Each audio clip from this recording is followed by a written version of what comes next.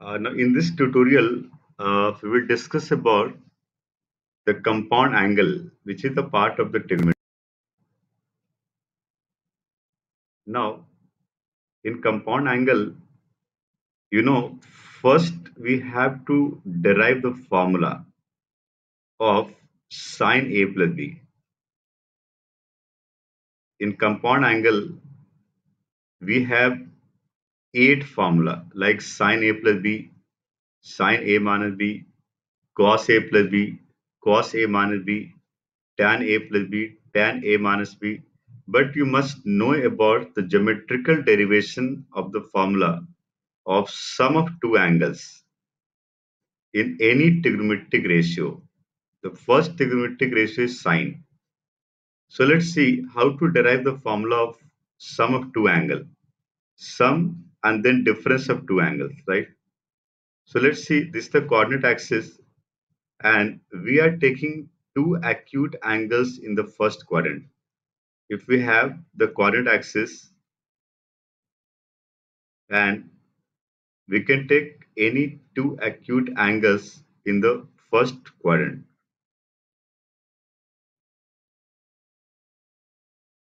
So the first angle is represented as angle A in anti-clockwise direction. And the second angle, again acute angle, which is called angle B. And this is again in the first quadrant, right? Now, we have to find A plus B. So we need to take few right angle triangles in this, in which we have angle A, angle B and angle A plus B. First, we could draw the perpendicular from point P to OQ. The perpendicular is called PQ is perpendicular on OQ. So if PQ perpendicular on OQ, OPQ is a right angle triangle. In this right angle triangle, we can find the value of sine B and cos B. So we can say sine B is perpendicular by hypotenuse, which can be written as PQ divided by OP. And we can also find cos B, which we can say base by hypotenuse, which is OQ and divided by OP. Now, if we have to find sine A and cos A, we need to draw another perpendicular from point Q on OX. This perpendicular is called QR. So we can say QR is perpendicular on OX. If QR is perpendicular, then OQR is a right angle triangle. And in this right angle triangle, we can find sine A, which is equal to QR and divided by OQ, perpendicular divided by hypotenuse. And we can find cos A, which is base by hypotenuse, which we can say OR divided by OQ. So now we have sine A, cos A, sine B and cos B. Now finally we have to find A plus B. So we can draw another perpendicular point from point P on OX. This perpendicular is called PM. If you draw the perpendicular PM on OX, we can find the value of sine A plus B.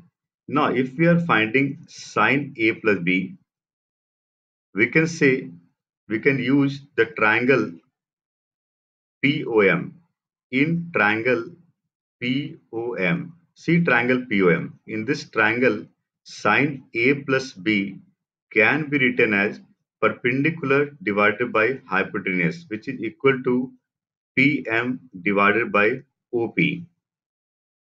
But PM and OP, we need to split into few parts so that we can convert it into sine A, cos A, sine B, cos B.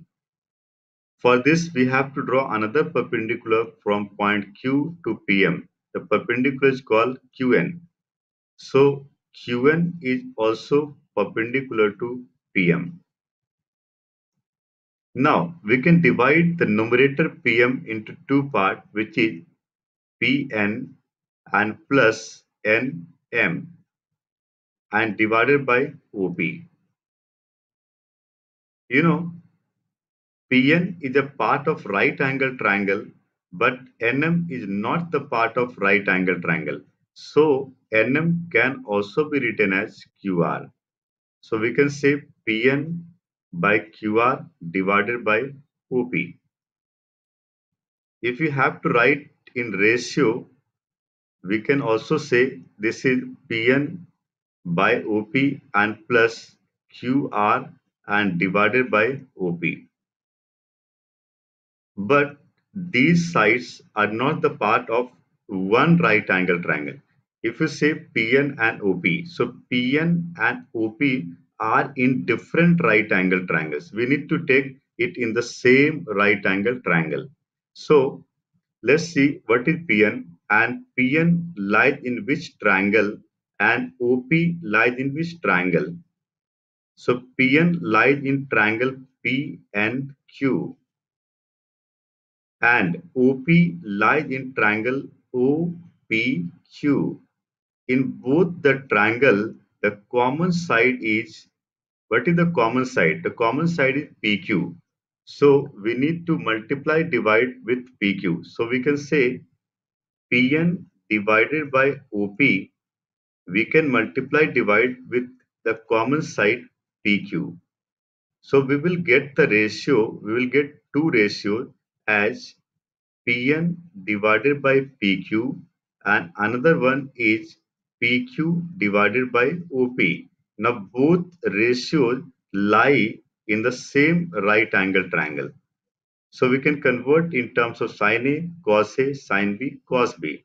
Similarly, similarly, we can multiply divide of QR by OP in some other side so again, we can think about the triangle in which we have QR. So QR lies in the triangle OQR and OP lies in the triangle OPQ. And in both the triangle, in both the triangle, the common side is called OQ. So we should multiply divide with OQ.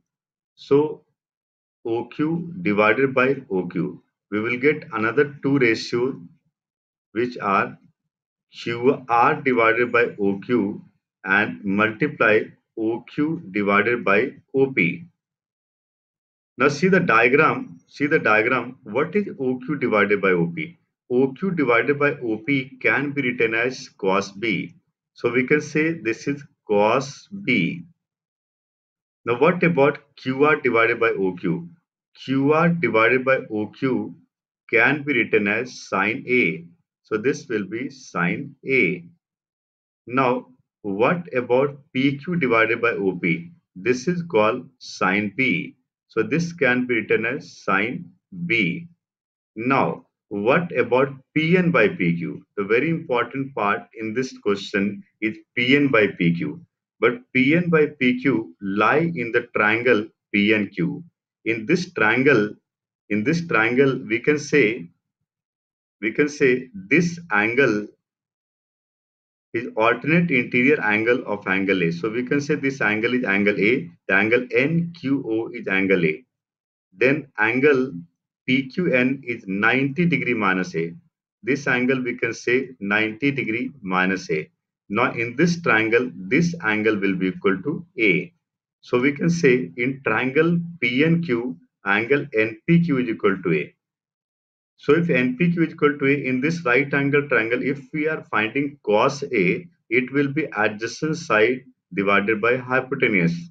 So PN divided by PQ can be written as cos A. So finally, this ratio will be equal to cos A.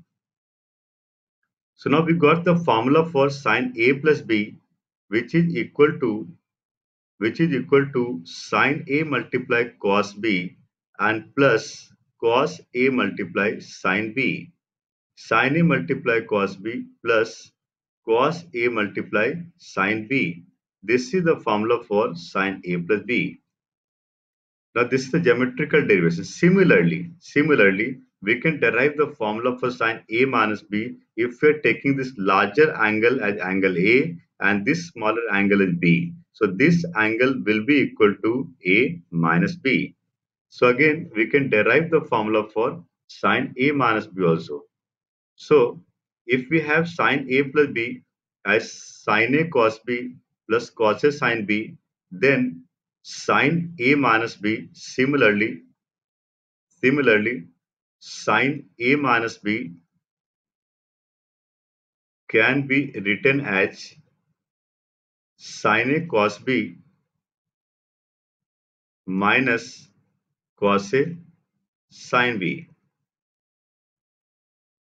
And first formula was sine A plus B which is equal to sine A cos B and plus cos A sine B. So these are very important basic formula in sum or difference of two angle. Now if we are deriving the formula in terms of cos or tan, we can use these two formulae. If we are deriving the formula for cos A plus B, we can say cos theta is equal to sine 90 degree minus theta. So we considered A plus B as theta. So cos A plus B can also be written as sine 90 degree minus A plus B. Cos A plus B can be written as sine 90 degree minus A plus B because we know the formula for sine. So we can derive the formula for cos. After eliminating the bracket, we will get 90 degree minus A minus B. So first 90 degree minus A we can take in the bracket and another B in another bracket. So we can apply the formula of sine A minus B, formula number 2 in this.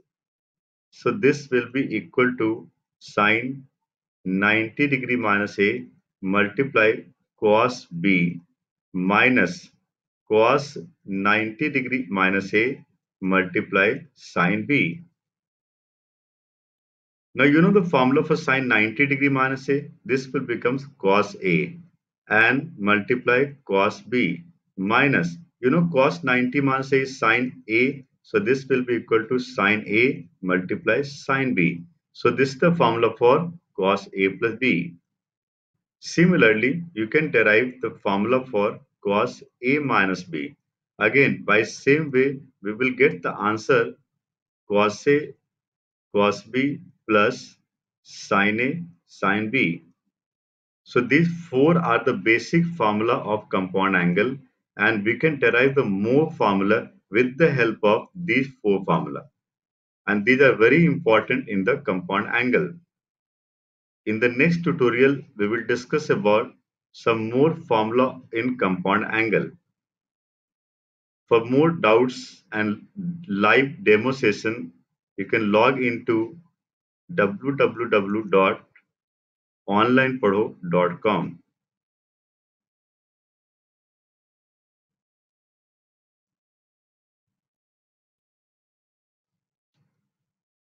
Thank you.